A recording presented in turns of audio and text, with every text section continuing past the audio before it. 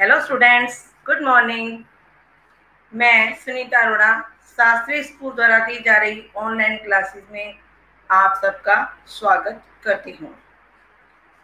मैं class ninth English grammar के बारे में आपको जानकारी दे रही हूँ।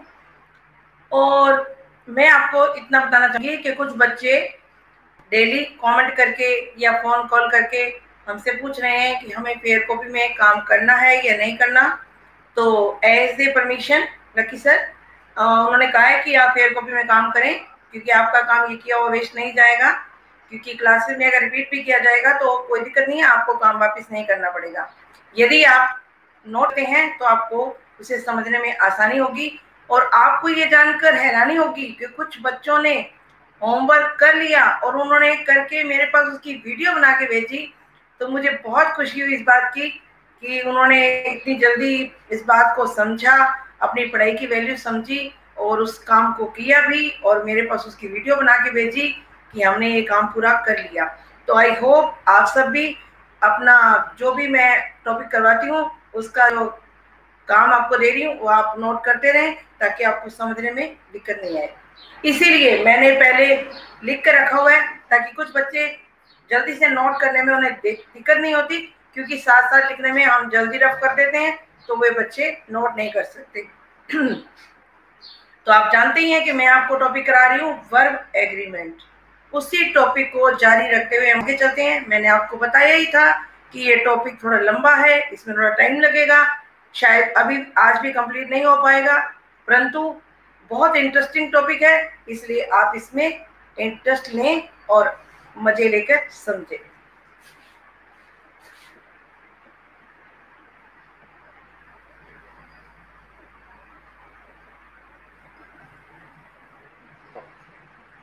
वर्ब एग्रीमेंट आज हम चलते हैं रूल नंबर 15 की ओर। कलेक्टिव नाउन आप नाउन के बारे में जानते हैं? यानी कि समूहवाचक संज्ञा। संज्ञा जानते हैं कि संज्ञा होती है? तो उसी के बारे में बात की जा रही है कि यदि कलेक्टिव नाउन का प्रयोग एक समूह के रूप में किया जाए तो कलेक्टिव नाउन है और उसका प्रयोग एक समूह के रूप में किया जाए तो वहाँ हमेशा सिंगुलर वर्ग का प्रयोग किया जाता है। और वे नाउन कैसी होती हैं? आपको बता रही हूँ। जैसे आपके सामने लिखा हुआ है पब्लिक पब्लिक यानी कि जनता। तो जनता शब्द जो है, इसे हम एक समूह के रूप में लेते हैं। क्योंकि ये बहुत से लोगों का समूह होता है और इसे हम समूह के रूप में प्रयोग लेते हैं। इसलिए इसे कलेक्टिव नाउन की श्रेणी में रखा जाता है। इसी प्रकार फ़ूड अब हम क्या फ़ूड जब बात करते हैं तो किसी एक फ़ूड की बात तो नहीं होती है। फ़ूड तो बहुत से होते हैं तो हम इन्हें फ़ूड नाम देते हैं, यानी कि भोजन। तो इसलिए ये भी समूहवाचक संज्ञा है।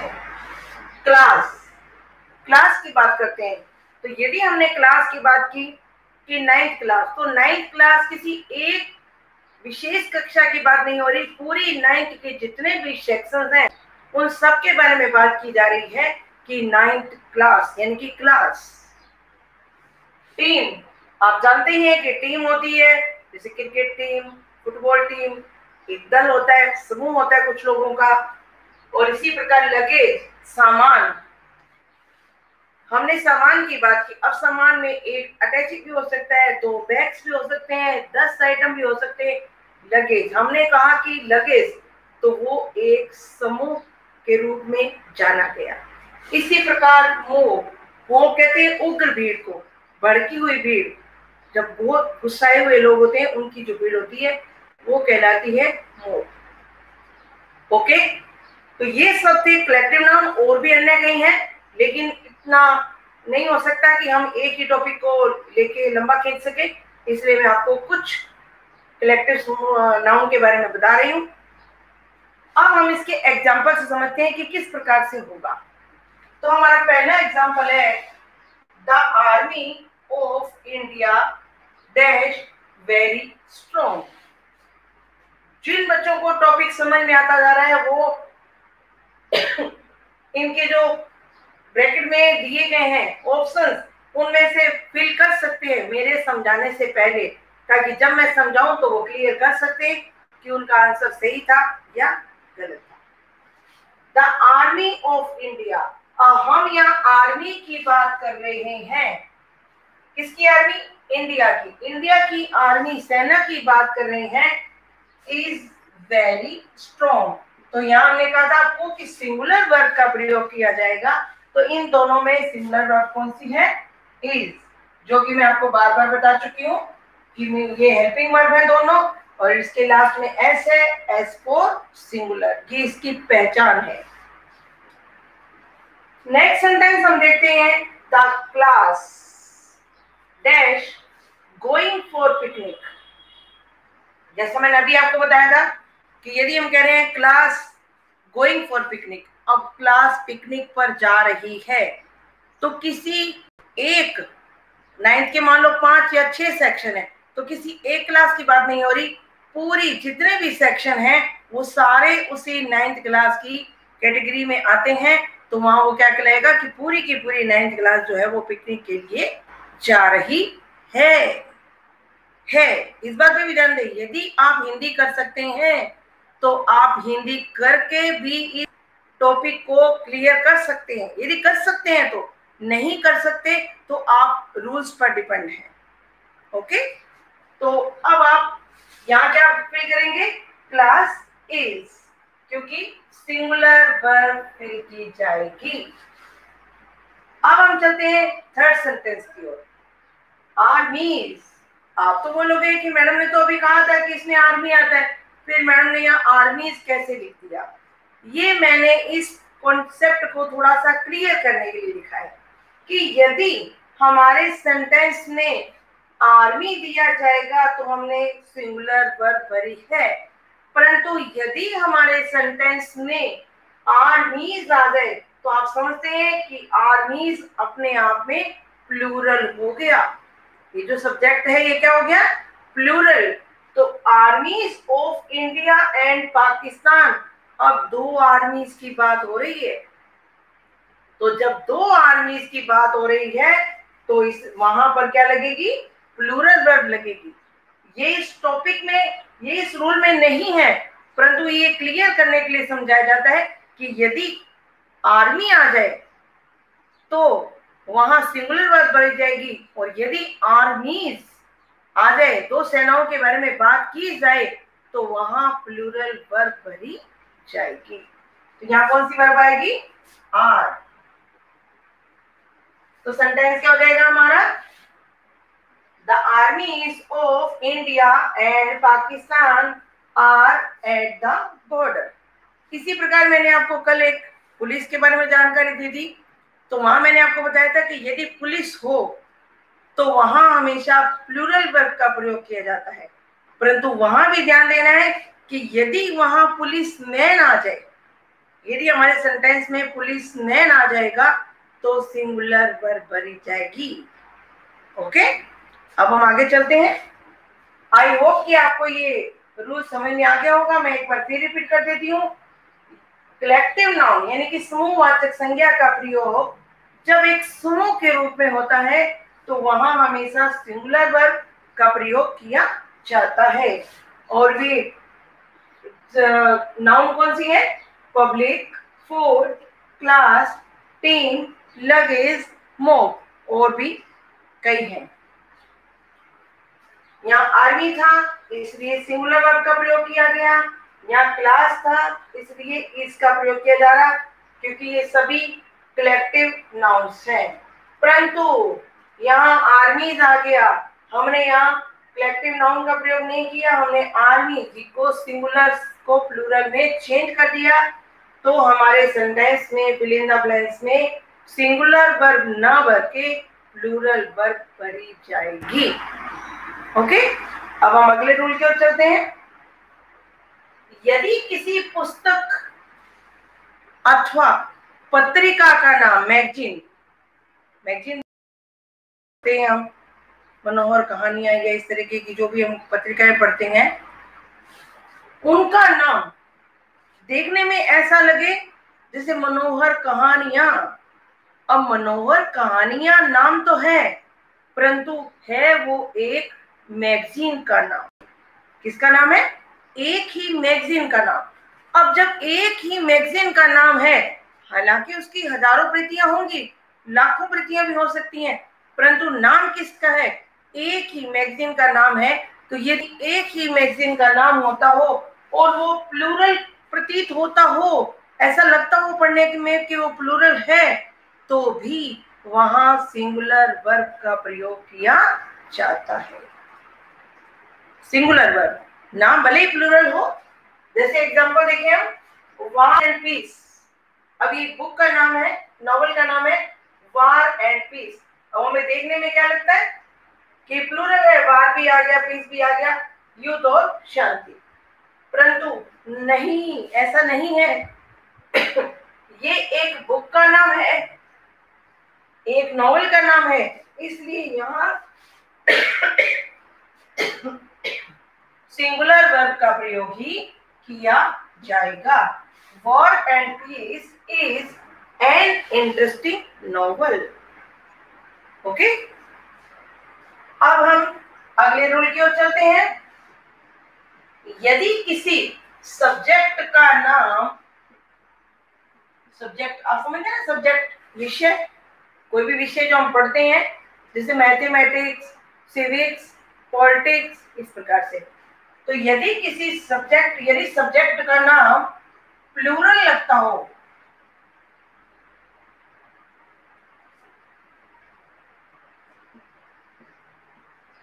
प्रतीत हो तो भी वहाँ सिंगुलर वर्ड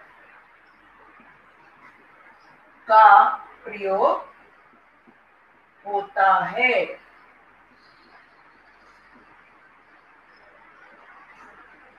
मैं इसीलिए इनके बारे में ज़्यादा लिखने लगी क्योंकि कुछ बच्चे जो नोट कर रहे हैं, फिर उनको दिक्कत नहीं होगी। वे आराम से इसको नोट कर लेंगे तो उन्हें समझने में आसानी होगी। मैं फिर एक बार रिपीट कर रही हूँ। यदि किसी सब्जेक्ट का नाम देखने पर प्लूरल प्रतीत हो रहा हो, कि ऐसा लग रहा हो कि ये तो प्लूरल है तो भी वहाँ हमेशा सिंगुलर वर्ब का प्रयोग किया जाएगा। यदि उससे संबंधित सेंटेंस होगा, उससे रिलेटेड कोई सेंटेंस होगा तो वहाँ सिंगुलर वर्ब का प्रयोग ही किया जाएगा।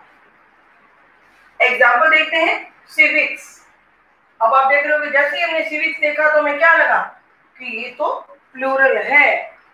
लगा ना ऐसा ही ये प्लूरल है, परंतु नहीं ये प्लूरल लगे, लेकिन है तो एक ही विषय का नाम। है तो एक ही सब्जेक्ट है ना? इसलिए एक ही सब्जेक्ट का नाम है तो यहाँ सिंगुलर वर्ब ही बनी जाएगी। तो सिविक्स ऑप्शन है हमारे इज़ और आर तो हम क्या करेंगे? Is civics is a useful subject अब हम नेक्स्ट सेंटेंस की ओर चलते हैं। Today politics dash become dirty politics अब ये भी सुनने में आपको राजनीतिक आप सुनते ही हो पॉलिटिक्स सुनने में प्लूरल लग रहा है, परंतु हम इसे प्लूरल की तरह ट्रीट नहीं करेंगे। हम इसे सिंगुलर की तरह ही ट्रीट करेंगे और इसके साथ सिंगुलर वर्ब का प्रयोग ही किया जाएगा। तो हमारे ऑप्शन में है हैज़ और हैव तो हम कौन सी बात फिल करेंगे? हैज़ क्योंकि मैंने आपको बताया था कि यदि वर्ग के लास्ट में एस हो तो वो सिंगुलर होती है। एस फॉर सिंगुलर तो हम यहाँ करेंगे? Has today politics has become dirty okay यदि किसी पुस्तक अथवा पत्रिका, यानी कि मैगजीन का नाम प्लूरल लग रहा हो तो भी वहाँ सिंगुलर वर्ग का प्रयोग किया जाएगा। और यदि किसी सब्जेक्ट का नाम, किसी विषय का नाम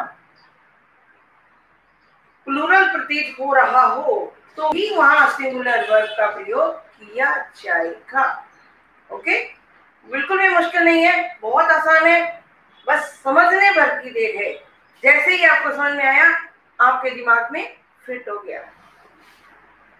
नेक्स्ट सेंटेंस है कि यदि हमारे सेंटेंस के बीच में, अब आप डब्ल्यू एच वर्ड के बारे में तो जानते ही हैं वाट विच वेयर व्हेन ये होते हैं। अब आपको मालूम है कि यदि एक स्टार्टिंग में आते हैं तो ये प्रश्न बन जाता है। प्रश्न बन जाता है इंटेरोगेटिव सेंटेंस बना देता है। परंतु यदि ये सेंटेंस के बीच में आए तो क्या होगा? वो हमारा रूल है। कि वाक्य के बीच में यदि हु विच वट दैट आदि हो, आदि वर्ड हो तो क्या करेंगे? तो उससे ठीक पहले वाले तो उससे ठीक पहले। वाले सब्जेक्ट के अनुसार सब्जेक्ट के अनुसार वर्ग भरा जाएगा या वर्ग आएगा। उससे ठीक पहले जो सब्जेक्ट है, उसी के अनुसार वर्ग भरा जाएगा या वर्ग आएगा।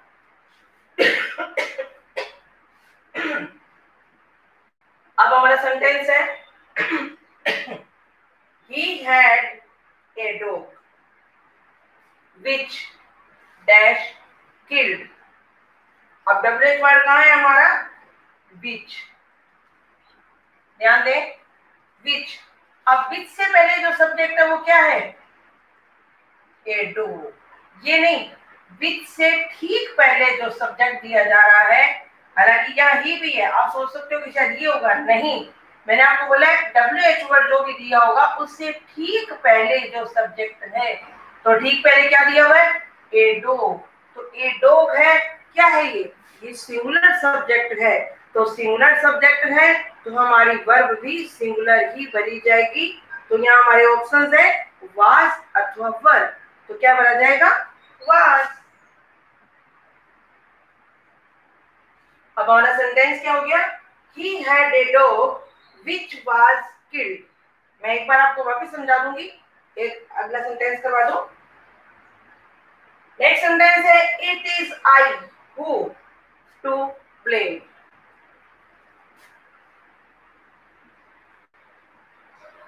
अब यहाँ क्या है? डब्ल्यू एच वर्ड दिया हुआ है हु और उससे पहले हमारा सब्जेक्ट क्या है? आई आई तो आई के अकॉर्डिंग वर्ब बना जाएगा। आई के साथ हम क्या करेंगे? इज़ आर या एम आप जानते ही हो, क्या बना जाएगा? एम क्योंकि आई के साथ तो एम हेल्पिंग वर्ब का प्रयोग किया जाता है। तो हम यहाँ फिल करेंगे एम इसी रूल को मैं एक बार वापस समझाना चाहूँगी, क्योंकि थोड़ा सा समझने में टाइम लग सकता है। समझने के बाद कभी भूलेगा नहीं। ये मेरी गारंटी है। सेंटेंस है, उसके बीच में यदि कोई भी डब्ल्यू एच वर्ड हो हु विच वाट जो भी होते हैं डब्ल्यू एच वर्ड डेट आदि हो, उससे ठीक पहले वाले, उससे ठीक पहले जस्ट जैसे मैंने अभी आपको बताया था कि यहाँ ही है, हमें नहीं देखना। यहाँ इट है, हमें नहीं देखना। हमें तो डब्ल्यू एच वर्ड से बिल्कुल पहले जो देखना है, जो पूर्व पद हमारा आया है, उसके अकॉर्डिंग हमें जो वर्ब है वो फिल करनी है। तो यहाँ हमारा ए डॉग था सिंगुलर था तो उसके साथ हमने वाज हेल्पिंग वर्ब का प्रयोग किया है। और नेक्स्ट सेंटेंस में हमारा आई था तो आई के साथ हमने एम हेल्पिंग वर्क को फिल किया है। ओके आई होप कि आपको ये तीनों रूल्स अच्छी तरह समझ में, चारों रूल अच्छी तरह समझ में आ गए होंगे। अब हम अगले रूल की ओर चलते हैं।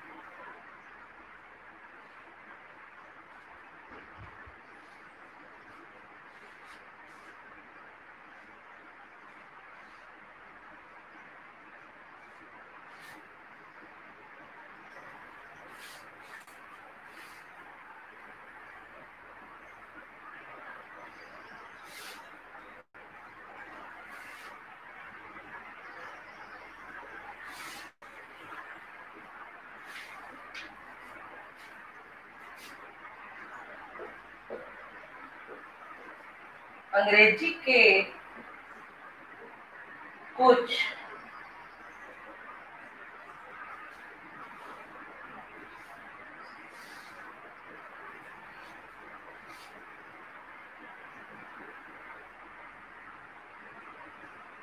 phrases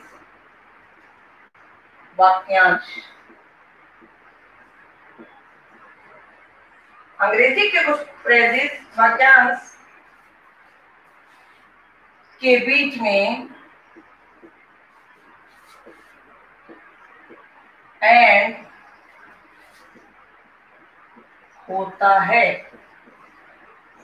परंतु फिर भी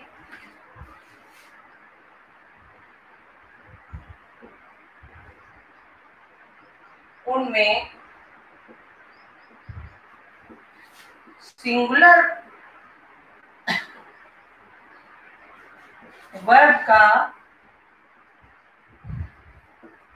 प्रयोग किया जाता है।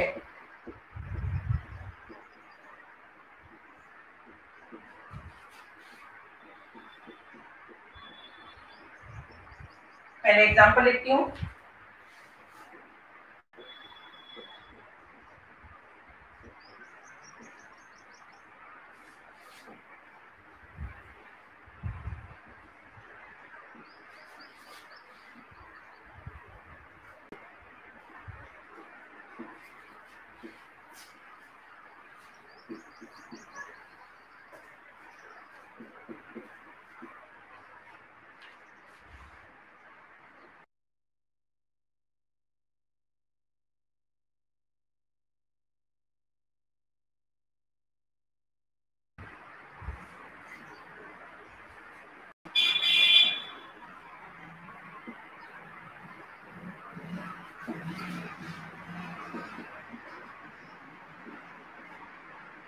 अब देखें, अंग्रेज़ी के कुछ फ्रेजेस वाक्यांश के बीच में एंड होता है, परंतु एंड होने के बावजूद भी उनमें हमेशा सिंगुलर वर्ब का प्रयोग किया जाता है। मैंने पहला एग्जांपल लिखा है टाइम एंड टाइट आप जानती हैं, इसी प्रकार कहावतें जो होती हैं, कहावतें और मुहावरे जो होते हैं, उनमें भी हमेशा सिंगुलर वर्ब का प्रयोग किया जाता है। जैसे यहाँ दिया हुआ टाइम एंड टाइट समय और लहरें फॉर नन वेट या वेट्स तो मैंने आपको बताया कि सिंगुलर वर्ब बन जाएगी तो सिंगुलर वर्ब कौन सी है? वेट्स क्योंकि इसके लास्ट में एस लगा हुआ है तो हम लिखेंगे वेट्स समय और लहरें किसी का इंतज़ार नहीं करती। प्रकार दाल एंड राइस दाल चावल हम अक्सर खाते हैं, ये दोनों ही एक दूसरे के पूरक हैं। इन्हें हम अलग करते हैं तो अलग अजीब सा लगता है। तो हम इन्हें जो मेल खाते होते हैं, जैसे ब्रेड एंड बटर इसी प्रकार दाल एंड राइस तो इसलिए इनके साथ भी हमेशा सिंगुलर वर्ब का प्रयोग किया जाता है। तो यहाँ सिंगुलर वर्ब कौन सी है? इज़ तो हम यहाँ इज़ वर्ब का प्रयोग करेंगे। Dal and rice is a good food दाल और चावल एक अच्छा भोजन है। आई होप कि जितने मैंने आपको रूल समझाए हैं वो आपको अच्छी तरह समझ में आ गए होंगे और आप इन्हें नोट कर रहे होंगे। कल हम इसी को जारी रखते हुए आई होप कि कल ये समाप्त हो जाएँगे। ओके थैंक यू क्या?